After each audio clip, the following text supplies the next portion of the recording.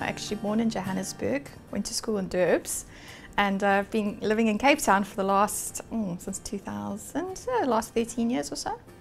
So for me, it's I've got to tailor make. Every person's different. You've got to get enough information from a client to, to allow for you to tailor make something that suits them 100%. For me, it's just this insatiable passion that I have for what I do and, and, and the places that we have and, and sell. And I just, and for me, it's very experiential. I'm all about experience. I try to sell places and experiences that I've experienced. I'm not going to say to you, well, I recommend this because I've heard it's great. I can say, I've been there, this is amazing, you have to, have to do it. I'm not kidding you, this is going to change your life.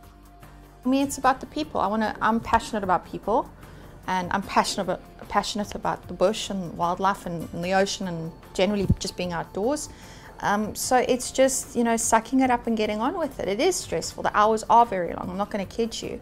Um, but the feedback that you get sometimes that it brings you to tears is you've know you've made somebody's dream come true. And there's not a lot of people that can actually say that they make people's dreams come true. And that for me is probably the most rewarding thing of it. I'd like to see Malawi, um, just from from the lake perspective, and, and I, am a bit of a water baby myself, so I enjoy that, you know, that water-based experience. But I am also a massive um, predatory person in terms of apex predators. Um, so I'd like to do the southern section of Tanzania, which I haven't done yet. Um, and I'd like to definitely go and trek with the gorillas because I think that for me would be bucket list material. It's like this myriad of waterways. The Okavango Delta sitting in the middle of a landlocked country, and for me that blows my mind.